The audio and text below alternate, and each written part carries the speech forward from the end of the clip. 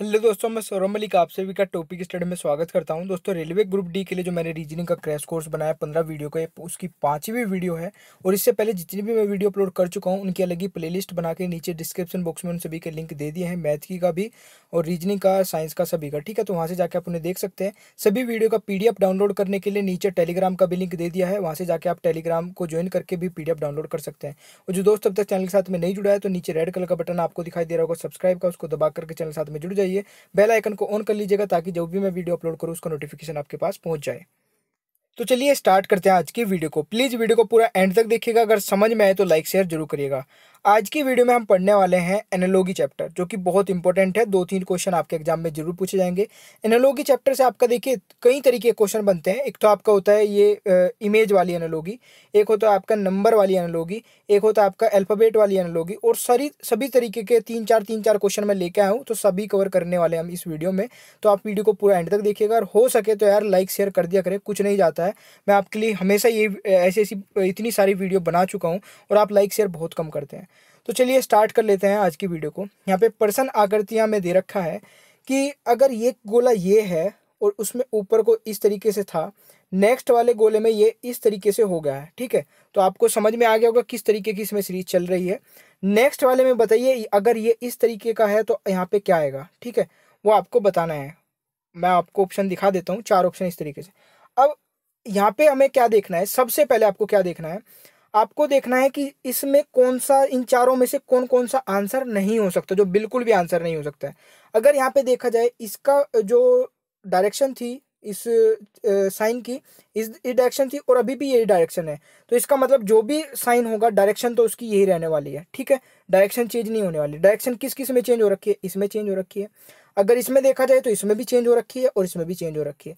Direction सिर्फ़ इसकी right जा रही है, उसी डायरेक्शन में ये राइट हो जाएगा। कई रीजन है इसके सही होने के। एक तो यही डायरेक्शन वाला।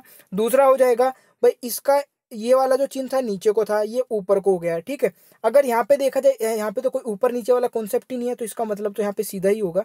तो इसमें राइट आंसर ये हो जाएगा। ठीक है, पहला क्वेश्चन था, अभी पूरी वीडियो देखिएगा तो धीरे धीरे सब कुछ समझ में आ जाएँगे। ये तो ईजी था क्वेश्चन वैसे। ठीक है, चलिए नेक्स्ट क्वेश्चन पे चलते हैं। नेक्स्ट आपका क्वेश्चन है पर्सन आकृतियों में आपका दे रखा है कि एक डंडा है, उसके ऊपर एक एरो का चिन्ह है इस डायरेक्शन में, ठीक है? फिर एक डंडा है, उसका एरो जो चला गया वो दूसरी डायरेक्शन में, यानी कि इसका इधर को था, इसका इधर को गया। तो आप समझ गए होंगे कि नेक्स्ट वाले में क्या होने वाला है। तो इसका भी एरो जो चेंज होगा, इसका इधर को था देखिए, यहाँ पे इधर को है तो ये इधर को होगा और बाकी का तो कोई चेंज नहीं, एक इधर होगा, ठीक है? तो सीधा सीधा आप देख सकते हैं कि एरो की डायरेक्शन चेंज होनी चाहिए सबसे पहली बात। तो एक तो इसमें चेंज है, एक इसमें चेंज है, बाकी में तो इसमें तो है ही नहीं और इसमें उसी डायरेक्शन में है तो ये दोनों गलत हो जाएँगे। फिर ये क्यों नहीं हो सकता? इसमें आपका ये पीछे जो छोटा सा गोला है, इसमें ये नहीं है तो इसमें ये ये भी है, पूरा का पूरा वैसे तो चेंज नहीं है ना? तो ये राइट आंसर हो जाएगा। तो देखिए, आपको समझ में आ गया होगा जो इमेज वाली एनोलॉगी होती है, वो कितनी सिंपल होती है और आप इसको कर सकते हैं, ठीक है? चलिए, और देख लेते एक दो क्वेश्चन फिर चलते हैं नेक्स्ट टाइप पे। नेक्स्ट आपका क्वेश्चन है, एक बार इसको खुद से ट्राई करिएगा क्वेश्चन नंबर थ्री है ये। आप इसको ट्राई ज़रूर करिएगा। पर्सन आकृति में यहाँ पे दे रखा है, एक आपका बॉक्स था, उसमें फिर आपको क्या कर दिया गया है, चार लाइनें खींच दी गई है। तो बिल्कुल सेम इसमें भी वो ही करना है आपको, उसी तरीके से। लाइनें चार ही होनी चाहिए, उससे ज़्यादा नहीं होनी चाहिए। इस तरीके से आपका बन जाएगा। तो देख लीजिए चार लाइनें वाला कौन सा है। इसमें तो बहुत सारी है, ये हट जाएगा। अब इसमें चार है, एक ये पाँचवीं भी है बीच में तो ये भी हट जाएगा, ये भी हट जाएगा तो राइट आंसर ये हो जाएगा। देखिए, जितने भी आकृति वाले क्वेश्चन होंगे आपके एनालॉगी में बहुत ही आसान होंगे, और एक दो तो ज़रूर आएगा, क्योंकि ए एल पी टेक्नीशियन में बहुत सारे क्वेश्चन आए हैं आपके अब की बार, ठीक है? तो यहाँ से भी आपका एक दो क्वेश्चन तो ज़रूर आएगा, और आप समझ रहे होंगे कि आप उसको हंड्रेड परसेंट करके आ जाएँगे। चलिए नेक्स्ट क्वेश्चन देख लेते हैं। अब इस क्वेश्चन को देख लीजिए क्वेश्चन नंबर फोर है आई थिंक है ना? हाँ फोर क्वेश्चन है, इसका आंसर बताइएगा आप मुझे। पर्सन आकृति दे रखे यहाँ पे। कुछ इस तरीके से था, पूरा गोला था, उसको आधा कर दिया गया है और आधे को करके फिर इसको पलट के रख दिया गया है, ठीक है ना? तो इसको भी अगर हम आधा करेंगे और पलट के रखेंगे तो क्या होगा आपका? देखिए, आधा तो उस, वैसा का वैसे ही रहेगा। फिर पलट के रखने के बाद ही में कुछ ऐसा हो जाएगा, यानी कि इसकी डायरेक्शन सी कुछ ऐसी हो जाएगी। तो देख लीजिए डायरेक्शन किसकी ऐसी है? ठीक है भाई, ये तो बिल्कुल नहीं हो सकता, ये तो बिल्कुल वैसा का वैसा ही है। डायरेक्शन इसकी ये वाली नहीं बनेगी, ये भी हट जाएगा, और ये तो बिल्कुल भी नहीं बनेगी तो राइट आंसर आपका यही बच जाएगा option B is the right answer तो देखिए, मैं अभी तक आपने देखोगे मैं कैसे कर रहा हूँ इन सभी क्वेश्चन को सोल्व मैं कर रहा हूँ कि सबसे पहले जो क्वेश्चन नहीं सॉरी जो ऑप्शन नहीं हो सकता है, उसको हटा देता हूँ। जैसे ये ऑप्शन नहीं हुआ, ये नहीं हुआ, ये नहीं हुआ, ये हटा दिया तो राइट आंसर खुद ही निकल के आ जाएगा। कुछ सोचने की ज़रूरत ही नहीं है। तो आपको भी कुछ इसी तरीके से क्वेश्चन को करना है, ठीक है? चलिए नेक्स्ट क्वेश्चन पर चलते हैं। तो चलिए नेक्स्ट क्वेश्चन देख लेते हैं। ये क्वेश्चन नंबर फाइव है। आप इसको ट्राई करके देखिएगा और राइट आंसर बताइएगा ज़रूर इसका कमेंट बॉक्स में। यहाँ पे देखिए क्या दे रखा है। यहाँ पे क्या देखने की ज़रूरत है आपको? भाई, गोला था, बिल्कुल ब्लैंक था। इसमें कितनी लाइनें दे रखी है? बस वो काउंट कर लीजिए। एक, दो, तीन, चार, पाँच, छः, सात, आठ। इसमें आठ है तो इसमें भी आठ ही होनी चाहिए। एक, दो दो, चार, दो, छः और दो, आठ ही। मतलब इस तरीके से कुछ होना चाहिए। तो आप देख सकते हैं अब इनमें कौन से में ये नहीं होगा, ये नहीं होगा। ठीक है, ये भी नहीं होगा तो राइट आंसर आपका सी हो जाएगा। तो कितना आसान, आसानी से आप इन सभी क्वेश्चन को कर सकते हैं। ठीक है ना? आशा करता हूँ कि आपको सभी क्वेश्चन समझ में आ रहे होंगे। चलिए नेक्स्ट क्वेश्चन अब चलते हैं। ये टाइप आपके हो चुके हैं खत्म। यहीं पे सारे आकृति वाले जितने भी क्वेश्चन थे एनालॉगी में, वो सब कुछ अभी मैं आपको कवर करा चुका हूँ। बीच बीच में और लेके आऊँगा, जो भी इंटरेस्टिंग सा कोई क्वेश्चन होगा, वो भी मैं आपको बीच बीच में लेके आता रहूँगा। अभी आज की वीडियो में यहीं पे आकृति वाले तो हो गए। नेक्स्ट चलते हैं नेक्स्ट टाइप देखते हैं कौन सा है। चलिए नंबर वाली एनालॉगी देख लेते हैं। नेक्स्ट क्वेश्चन आपका जो ये है, ये question number six I think ठीक है? आप इसका आंसर दे सकते हैं। बहुत ही आसान है। और यहाँ पे पूछा है कि सेवन को अगर फिफ्टी टू से रिलेट किया जाए तो इलेवन को किससे किया जाएगा? तो ऑप्शन आपके सामने है, सभी आप ट्राई करके देखिए। यहाँ पे जो है, देखिए, सेवन का स्क्वायर अगर हम करेंगे तो कितना होता है भाई? फोर्टी नाइन होता है, ठीक है? फोर्टी नाइन में प्लस वन कर दे तो फिफ्टी बन जाएगा। तो इसी तरीके से आपको ये करना है। ग्यारह का स्क्वायर कितना होगा? एक सौ इक्कीस हो जाएगा। और प्लस वन करेंगे तो क्या हो जाएगा? एक सौ बाईस तो एक सौ बाईस is the right answer option A right answer हो जाएगा। ठीक है? बहुत ही आसान है, कोई हार्ड नहीं है, ठीक है? चलिए नेक्स्ट क्वेश्चन को देखिए ट्राई करके एक बार क्वेश्चन नंबर सेवन को ट्राई करिए एक बार सभी बच्चे। तो आशा करता हूँ कि आपने ट्राई कर लिया होगा। देखिए, यहाँ पे क्या चल रहा है? बारह को अगर छत्तीस लिखा जाता है, एक बटा तीन को क्या लिखा जाएगा? इसी तरीके से रिलेशन आपको निकालना है। तो सबसे पहले इनके बीच में रिलेशन फाइंड आउट करिए। तो बारह तिया कितना होता है? छत्तीस होता है। तो इसका मतलब बारह इंटू थ्री किया गया है भाई यहाँ पे तो। ठीक है, छत्तीस लिखने के लिए बारह इंटू थ्री किया गया है। तो एक बटा तीन में हम जब मल्टीप्लाई थ्री की करेंगे तो कितना हो जाएगा? तो ये तो भाई वन बचेगा। ठीक है? तो राइट आंसर इसका मतलब बी हो जाएगा। तो इस तरीके की बहुत सारे एनालॉगी के आपके नंबर एनालॉगी से क्वेश्चन आते हैं। नेक्स्ट क्वेश्चन देख लीजिए एक बार। ये वाला आपका क्वेश्चन नंबर एट ट्राई करिए एक बार क्वेश्चन नंबर एट और जल्दी से आंसर भी करते रहिए कमेंट बॉक्स में, ठीक है? देखिए क्वेश्चन नंबर एट में क्या है? बहुत ही सिंपल है ये भी। टू का यहाँ पे क्यूब किया गया है। टू का क्यूब करेंगे तो कितना हो जाएगा? एट हो जाएगा सीधा सीधा तो थ्री का क्यूब करेंगे वो कितना हो जाएगा भाई? वो ट्वेंटी सेवन हो जाएगा। तो राइट आंसर बी हो जाएगा। तो आशा करता हूँ कि आप समझ गए होंगे। अब तो इस तरीके क्वेश्चन कैसे करने हैं और बहुत ही आसान आपके एग्ज़ाम में आने वाले कोई हार्ड नहीं आने वाला ग्रुप डी के एग्ज़ाम में।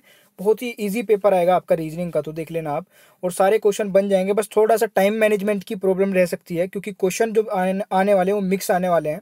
जहाँ तक मुझे पता है अभी तक कि आपको पहला मैथ का दे दिया, फिर रीजनिंग का दे दिया, फिर आपको करंट का दे दिया, फिर साइंस का दे दिया, कुछ इस तरीके से क्वेश्चन आपके आएँगे तो मैनेज टाइम मैनेजमेंट की प्रॉब्लम हो सकती है।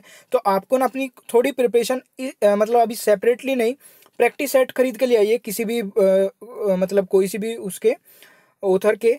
तो आप उनसे ट्राई ज़रूर करिएगा, क्योंकि मिक्स क्वेश्चन की ट्राई करेंगे तो तभी आपकी थोड़ी प्रैक्टिस बन पाएगी।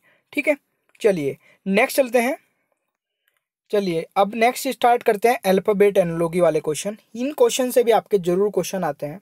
ठीक है? देखिए, अगर आपके क्वेश्चन आ सकते हैं, मैं भी बता देता हूँ। एक तो जो पहला मैंने बताया है, आपका इमेज वाले क्वेश्चन वो, आकृति वाले, उनसे तो एक क्वेश्चन पक्का आने वाला देख लेना आप। और अगर दूसरा आया तो आपका नंबर वाला भी आ सकता है। इसके चांस ज़्यादा हैं। ठीक है? जो आपका अल्फ़ाबेट वाली जो एनालॉगी है, उनके चांस ज़्यादा होते हैं। तो आप ट्राई करिएगा, ये तो बहुत ही सिंपल सा एक क्वेश्चन लिया है मैंने बेसिक सा सबसे पहले। एक बार ट्राई करिएगा और एक शायद क्वेश्चन नंबर नाइन हो गया है। नाइन का राइट आंसर बताइए। देखिए, यहाँ पे क्या चल रहा है? यहाँ पे प्लस वन किया गया है। ए में प्लस वन किया गया तो बी हो गया, ठीक है? फिर बी को वैसा का वैसे रखा बी को नेक्स्ट कर दिया सी ठीक है? तो इसका मतलब क्या हुआ? भाई ए का बी से क्या रिलेशन है? प्लस वन का, और बी इसका रिलेशन क्या है? ज़ीरो का। यानी कि बी को बी रखा, फिर सी रख कर दिया। तो यहाँ पे सी और डी रखा है, फिर नेक्स्ट क्या होगा? डी और ई e रख देंगे। यानी कि डी को डी रखेंगे, फिर नेक्स्ट आप एक बढ़ा देंगे।